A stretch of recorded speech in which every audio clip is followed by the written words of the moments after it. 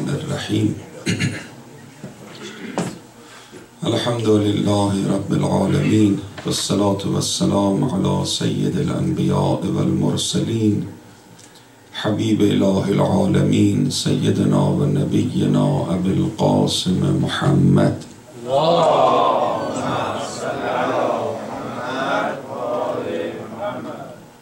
وعلى أهل بيته الطيبين الطاهرين المعصومين المكرمين سيما بقية الله في الأرضين روحي وأرواح العالمين لتراب مقدمه الفداء. ولعنة الله على أعدائهم أجمعين إلى يوم الدين. اللهم كل وليك الحجة ابن الحسن صلواتك عليه وعلى آبائه. في هذه الساعة وفي كل ساعة وليا وحافظا وقائدا وناصرا ودليلا وعينا حتى تسكنه أرضك توعى وتمتعه فيها طويلا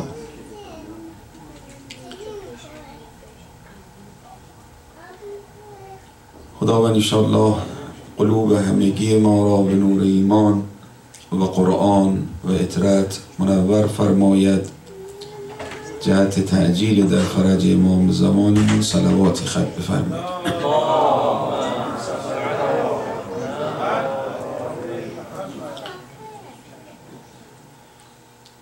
در یک روایتی دارد که امام علیه السلام امام صادق سلام الله علیه آمدن وارد مجلس شدن و غضبناک بودن.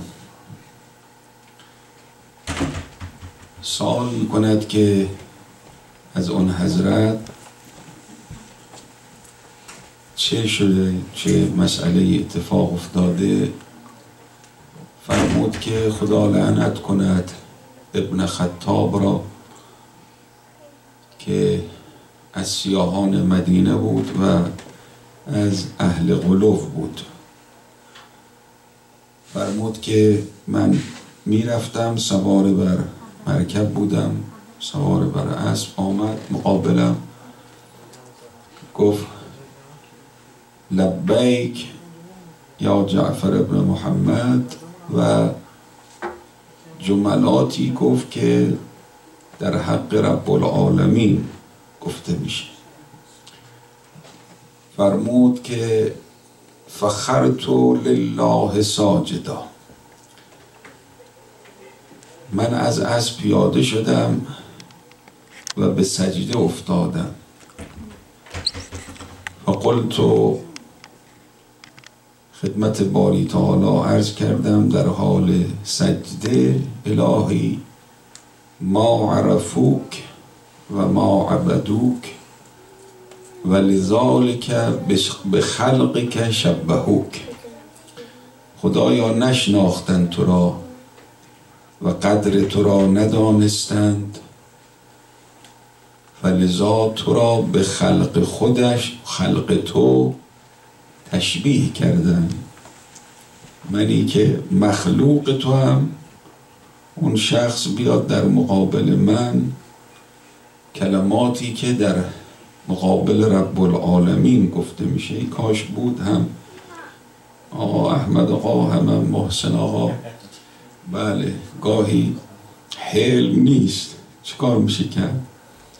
حلم اگر باشه میدم به احمد آقا میگیم از اون مستی و پیمانه و اینا می‌گفت بهتر بود. تا این جمله که از عظمت خدا این بس که تو بنده او برعکسه. خودش میفرماید کفا بی فخرا ان اکون لک عبدا. همین افتخار برای من بس که بنده تو باشم. این بالاترین افتخار من است امیر المؤمنین علی ابن ابی طالب علیه السلام میفرماید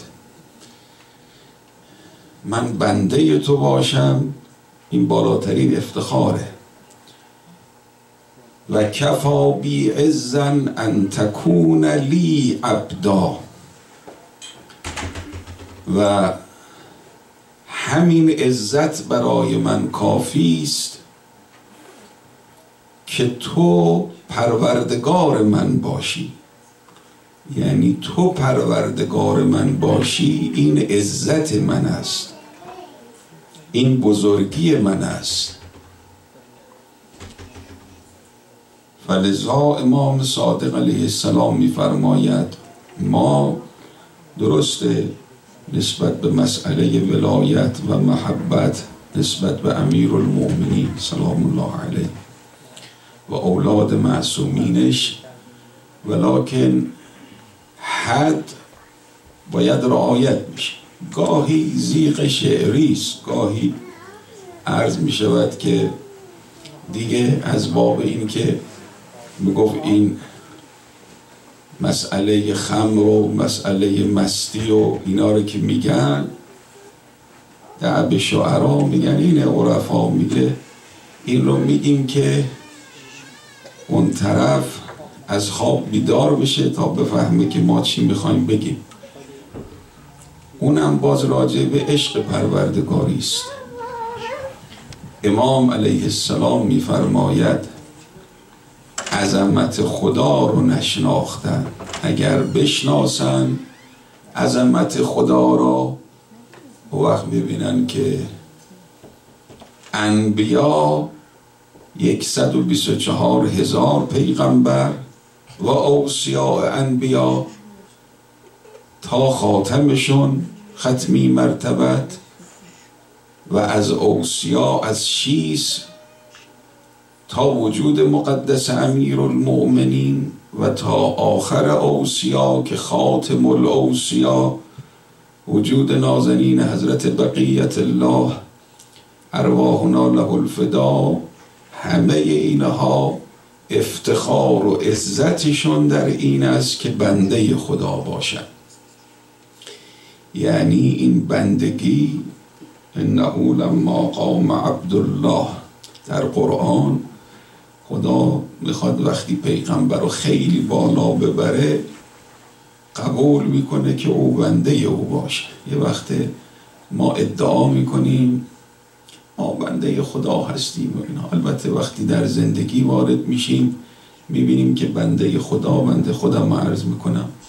بنده خدا نیستیم گاهی بنده شهبتیم گاهی بنده غضبیم گاهی بنده شکمیم گاهی بنده مقامیم.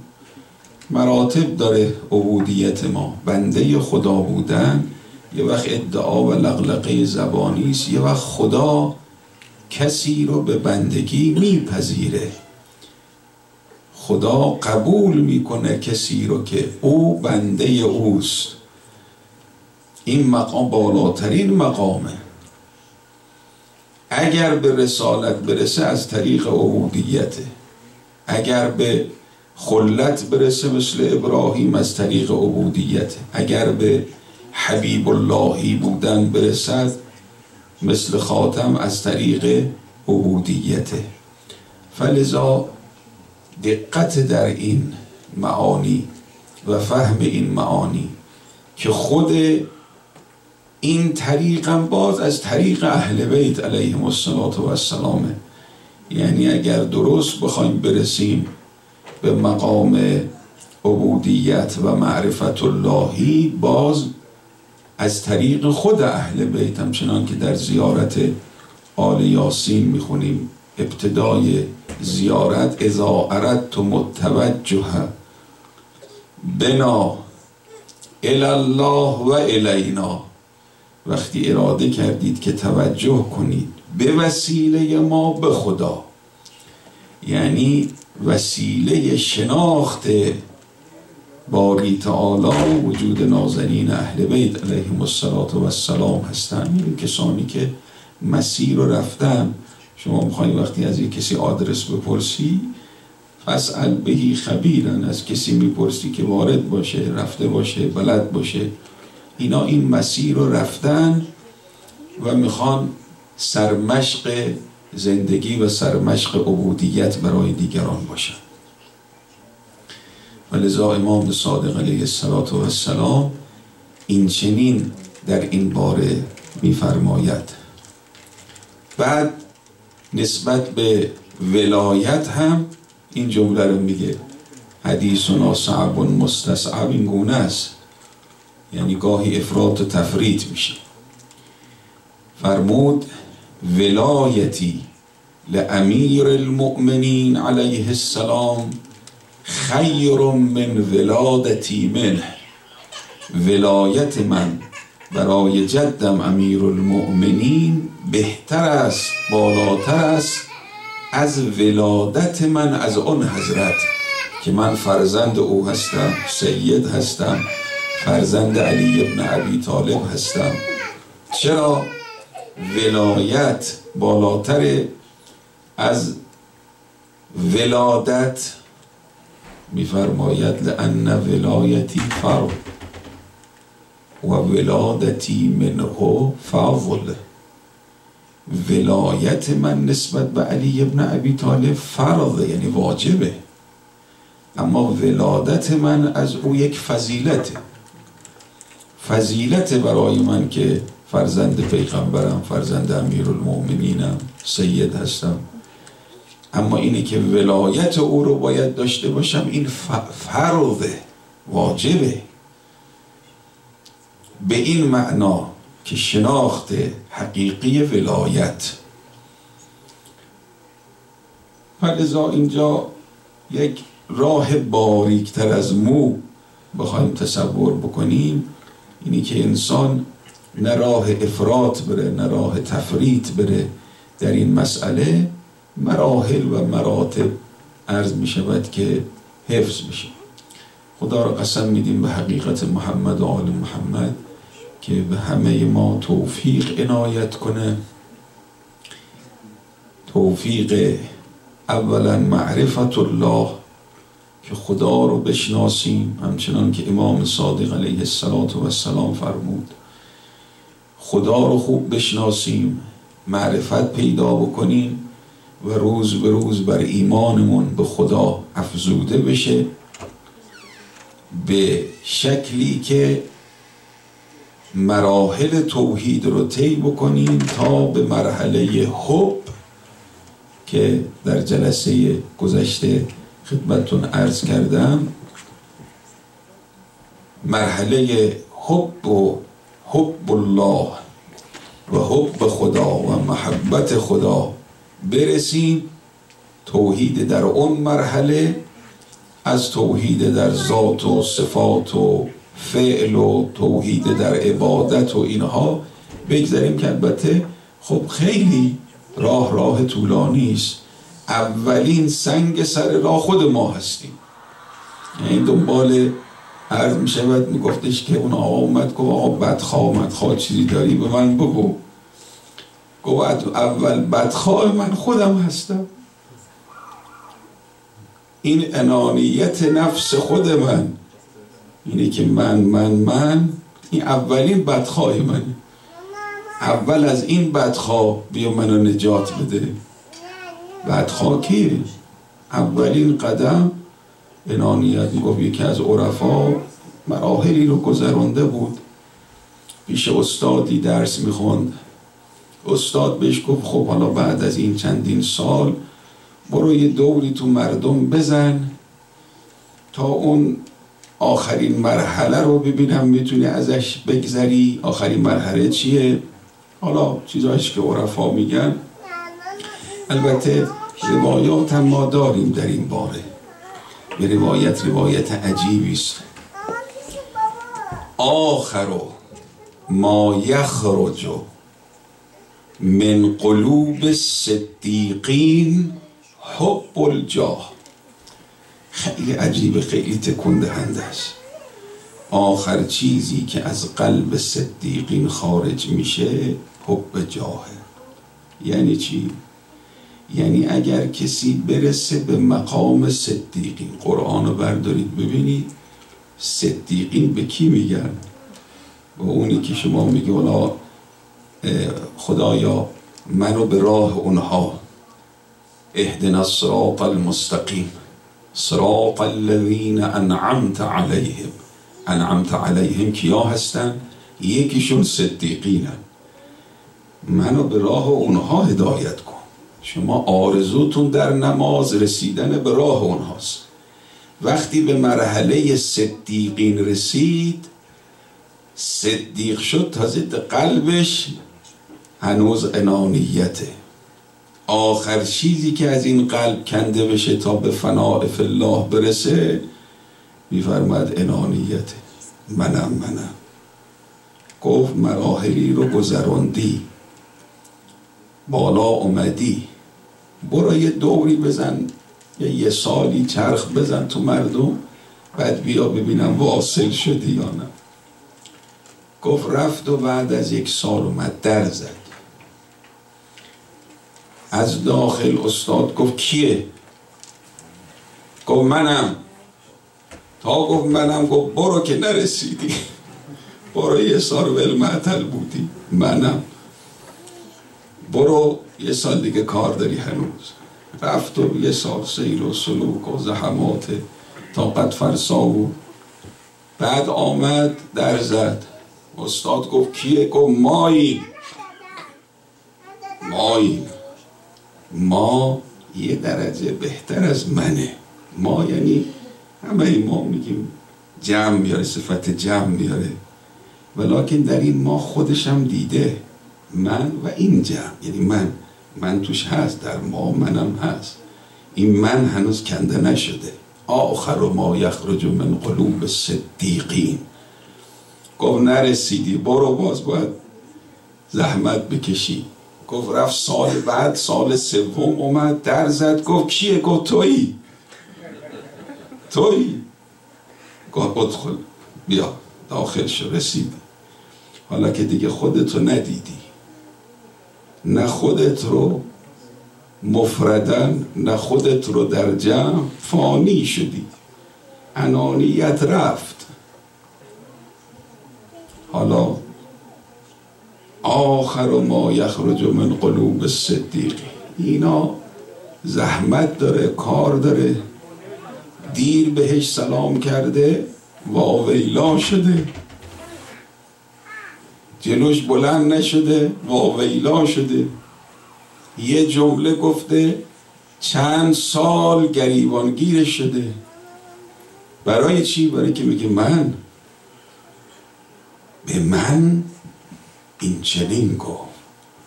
با من این چنین که این من خیلی براش مهمه. ولی وقتی فانی شد فالله دیگه من ندید. سنگ به پیشانیش زدن. خون میاد دندان شکسته شده خون سرازیر روی اون لباس کرباس. گفت دیدم دست به دعا برده در جنگ احد پیغمبر خاتم. گفتم داره مردم رو نفرین می‌کنه. گوش دادم دیدم داره دعا می‌کنه. اللهم اهد قومی. خدایا. اولا میفرمد قومی یا یه نسبت آورده. یعنی این مردم اینا قوم منن. می‌خواد محبت خدا رو جلب کنه. اینا نگاه نکن به من سعی می‌زنن شمشیر کشیدن می‌خوان ما رو بکشن. اینا قوم منن. قومی. بعدم چه دعایی؟ نابترین گوهر وجود و خاص. هدایت. هدایت کن. اینهایی که قوم منن. بعدم از طرف اینا معذرت خواهی کرد از خدا. فانهم لا یعلم. خدا اینا جاهلن خدا اینا نادانن جهلشون گریبان گیرشون شده اینجوری می‌کنی ابو جهل و ابو جهل ها این کسیست که فانی فالله و الله کسی مقابل شما بیاد یه کلمه درشت بگه. دعاش کنی حالا کافرم نیست. مشرکم نیست. مسلمان شیعه است. دوازده امامی هم هست. رفیقت هم هست. برادر هست. گاهی برادر با برادر. به من این چنین گفت. تمام شد. دیگه اسمشو نیار. جلوی من دیگه من. این من کی تمام میشه؟ این اول درس بندگی کسی بخواد برسه این مسیر وقت می‌فهمیم که اینایی که این راه رفتن انبیا و اولیا و اوسیا چه کردن اینها؟ چه مراحلی رو که گذراندن هفته پیش عرض کردم به جایی می‌رسه که بچه جلوش جان میده میگه اینو که کشتی محبت تو تو دل من زیاد کردی. بازی چه نیست این حرف ها شعار نیست. یه خورده نونش دیر میشه کفر و کائناتش بلند میشه. خدا این چه وضعیه؟ چرا نونم اینجوری شد؟ چرا آب اینجوری شد؟ چرا این کاغذ من دیر آمد؟ چرا جواب دانشگاه همچی شد دیگه؟ اصلا من دیگه نماز نمی‌خونم. من دیگه خب برو از اولم بی خود خوندی. یعنی ایمان خیلی مشکله. زحمت داره. به سادگی نیست. اینی که میگن ممارست کنید در عبادت دقت کنید در عبادت دعاها ذکر ترک معصیت اینا قدم قدم قدم زحمت داره. زحمت ها انسان تحمل بکنه برسه به مرحله عبداللهی. حالا اون مرحله باز خودش مراتب داره. یک بنده بنده ایست مثل پیغمبر مثل امیر المؤمنین بعد میاد اشخاصی که تالیتل به معصومن امثال سلمان ها مقداد ها ابوذر ها و تا دیگران. اینا بعد. خدا رو مرحله اول بشناسه و اینها رو واسطه در شناخت باری تعالی کنه و استفاده کنه از کلماتشون امام صادق علیه السلام رئیس مذهب. 124 هزار پیغمبر مقدمه شد برای خاتم. خاتم آمد. ابلاغ رسالت کرد ولیکن مطلب تمام نشد. کلیات گفته شده اما جزئیات بیان نشده. به امیر المؤمنین که رسید همینطور.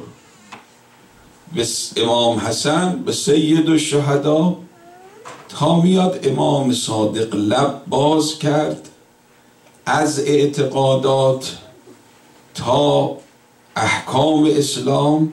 اینی که میگیم رئیس مذهب ما چون او لب باز کرد به صحبت. هرچه داریم از او داریم. روایات امام صادق علیه السلام در معتقدات در فروع دین در اصول دین اینا همه جمع شده ساخته شده فقه شیعه ساخته شده اعتقادات شیعه. شیخ صدوق کتاب می نویسه اعتقادات معتقدنا قول الصادق علیه السلام. اعتقادنا قول الصادق علیه السلام. یکی یک بیان می‌کنه در همه مراحل مراحل توحید. و نبوت و معاد همه رو صحبت کرد لب به سخن باز کرد. اینه که در اون حدیث لو حالا یه وقت فرصت باشه اون حدیث رو بخوانم. البته نوشتم آوردم ولیکن دیگه نه حالی برای ما هست نه حالی هم برای شما دیگه خسته شدید ضعفت طالب و المطلوب انشاءالله یه وقت فرصت بشه که خداوند در حدیث قدسی که این حدیث لو حدیث معروفی است که پیغمبر آورده عرض می شود که حدیث قدسی رو برای فاطمه زهرا اون لوحی که در دست فاطمه زهرا سلام الله علیها و جابر از ایشان و امام باقر علیه السلام از جابر نقل می‌کنه. یکی یک از خاتم تا ائمه میشمره تا می‌رسه به وجود مقدس امام صادق. لا اکرمن مسوا جعفر. البته چون خدا فرموده ولا ما جرأت نداریم اسم حضرت رو این گونه بگیم. هزار مرتبه شستم دهان به مشک و گلاب. اون شاعر میگه هنوز نام تو بردن کلام کمال بی است ولیکن خدا حق القول منی. خودش حق مطلقه. باز میگه میفرماید حق است این قول من که اکرام می‌کنم. جعفر را خودش را و شیعیان او را. در مورد خودش و در مورد شیعیان. و لأسرنه فی اشیاعه و انصاره و اولیائه سه مرحله داره. مرحله اول شیعیان او مرحله دوم انصار او مرحله سوم هم اولیاء و دوستداران او. حالا ما یقینا مرحله سوم هستیم چون خدا خود شاهد و ناظره که در قلب ما محبت امام صادق و اهل بیت علیهم السلام موج می‌زنه. الحمدلله.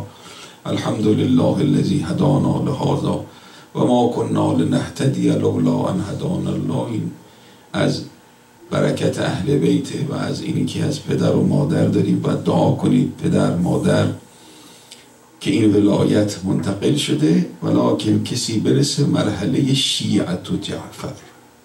فرمود شیعتنا من اطاع الله. شیعه ما کسی است که اطاعت خدا کند. اگر اطاعت کردی شیعه مایی شیعتنا خلقو من فاضل تینتنا و اجلو به ما ولایتنا. یحزنون به حزننا یفرحون به فرحنا این شیعه؟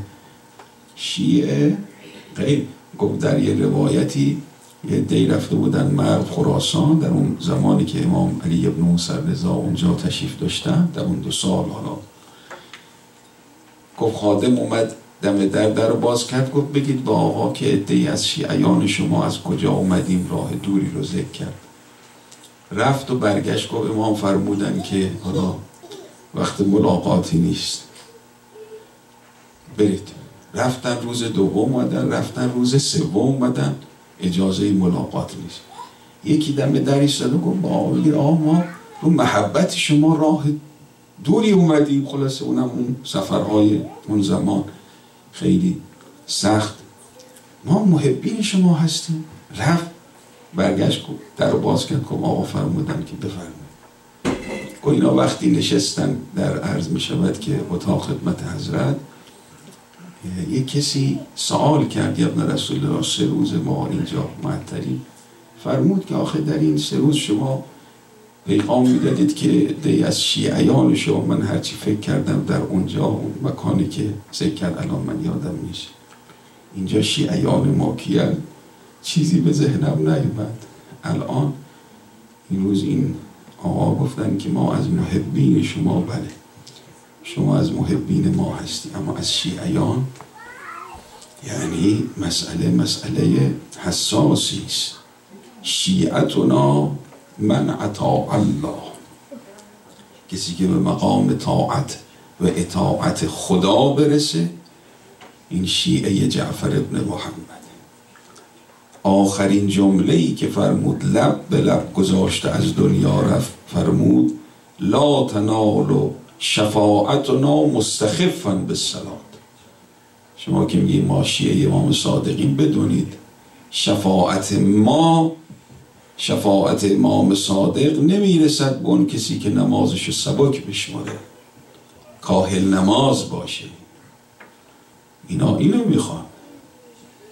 و الا انسان هر عملی انجام بده در هر طریقی باشه بعد من شیعه نه. کونو زینا للا ولا تکونو شینا علینا الى آخره خدا رو قسم میدیم به حقیقت محمد آل محمد همه ما رو موفق بداره.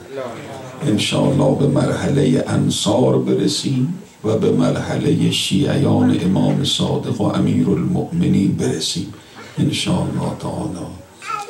یه سلواتی ختم فرمایید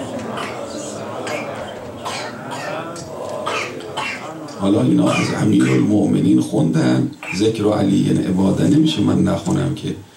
بخونم یه چند خط محسن آقا. از جدتون امیر المؤمنین بخونیم. یه سلوات دیگه بفرستید.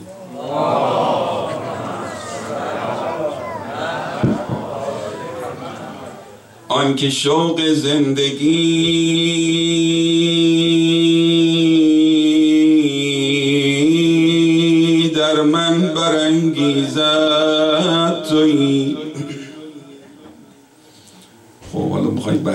بگی و چه چه بگی دیگه مال جددم الحمدلله سید زیاد داریم امشب.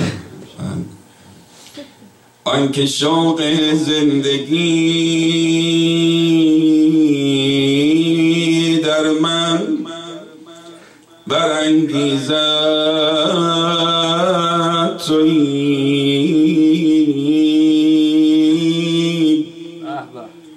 آنکه مهرش با دل و جانم در آمیزد تویی. آخرین نقشی که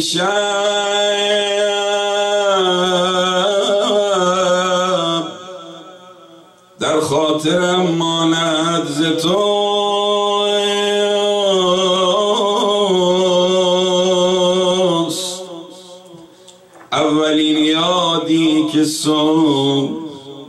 از خاطرم خیزد.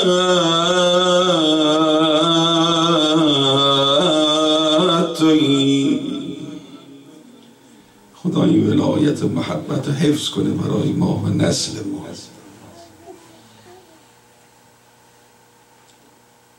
گر از هزار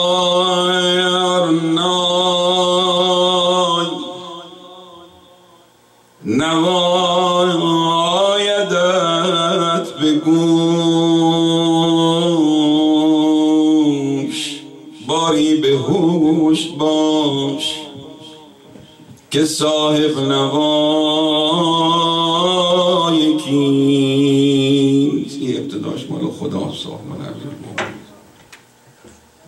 از صد هزار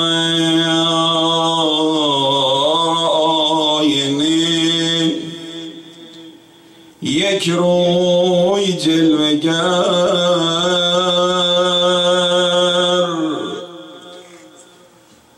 حسن دلبران جهان دل ربای کیست دل ربای حقیقی که خود دل امیر المؤمنین هم برده اوست. بر برگ هر گیاه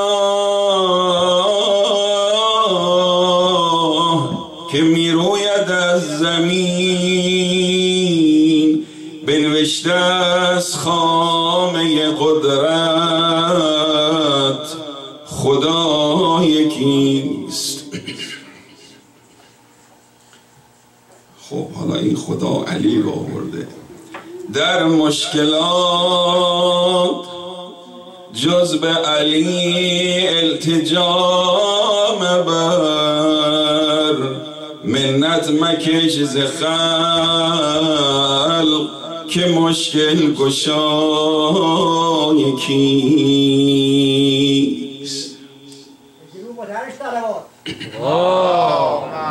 على محمد و در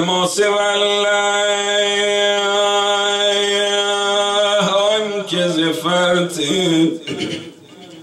جلال و جاه بوده است مولدش حرم کبریای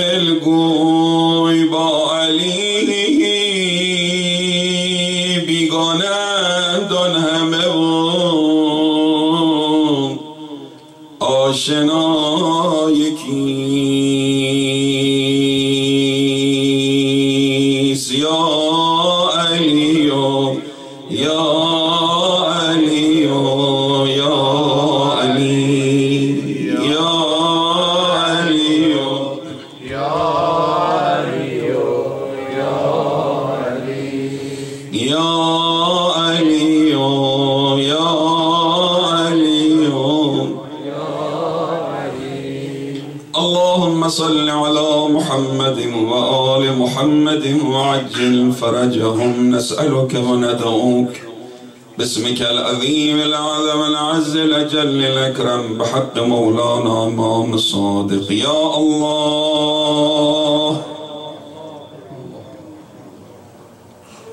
يا الله يا الله. يا الله يا رحمن يا رحيم يا مقلب القلوب ثبت قلوبنا على دينك واكفنا يا قاضي الحاجات. ويا كافي المهمات إنك على كل شيء قدير. وبالإجابة جدير. خدایا ما را بیامرز والدین ما را بیامرز مهمات دینی و دنیایی و اخروی ما کفایت فرما. قلب امام زمان از ما راضی فرما. فرج اون بزرگوار رو نزدیک بفرما. حوائج این جمع رو برآورده به خیر بگردان. گرفتاران عالم هر کجا هستن خودت به حقیقت امیر المومنین به حقیقت امام صادق گرفتاریشون برطرف بفرما اسلام و مسلمین رو عزت عنایت کن دشمنان اسلام رو خودت سرنگون و نابود کن. خدایا به حقیقت محمد آل محمد ما رو در مسیر اسلام مسیر قرآن مسیر اهل بیت ثابت قدم بدار. نسل و ذریه ما رو تا قیامت در مسیر ثابت قدم بدار ثوابی از این مجلس و جلسه و نصار روح گذشتگان منزوی الحقوق گذشتگان از این جمع. مرحوم آیت الله رزمای خویی عائد واصل بفرما للنبی و آله الفاتحه مع الصلوات